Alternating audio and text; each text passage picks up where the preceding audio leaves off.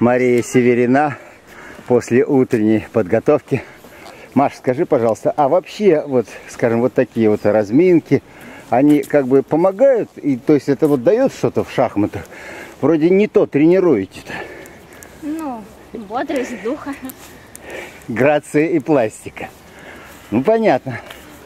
Да. Ой, какие люди! Без охраны, при погонах. Доброе утро, доброе утро.